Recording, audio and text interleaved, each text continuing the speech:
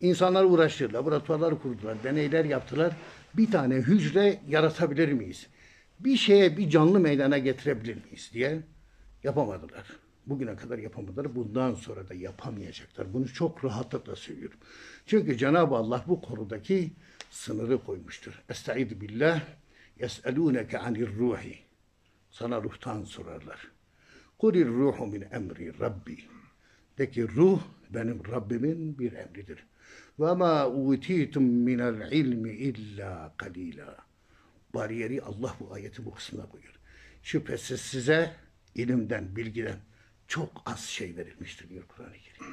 Yani ve bu ayet ruhla ilgili hiçbir şekilde hiçbir şekilde kesin bilgiye ulaşılamayacağını, canlılık, vitalite dediğimiz şeyi asla elde edemeyeceklerini, hiçbir canlı, bir canlı hücreyi bile yaratamayacaklarını söylüyor.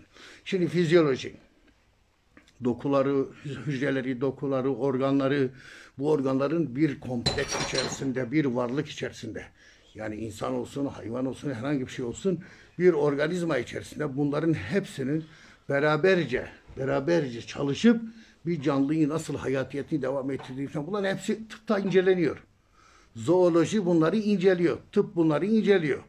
Anatomisi, histolojisi, patolojisi, fizyolojisi, embriyolojisi bunların hepsi inceliyor. İnceliyor ama canlılık nerede onu bilmiyorlar. Bazen her şey yerli yerindeyken ölüm meydana geliyor. Bazen bunların çoğunun dengesi bozuluyor. Organ yetmezlikleri meydana geliyor ama canlılık devam ediyor. Demek ki vitalite yani canlılık yani hayat dediğimiz şey asla bizim özünü çözemeyeceğimiz bir şey.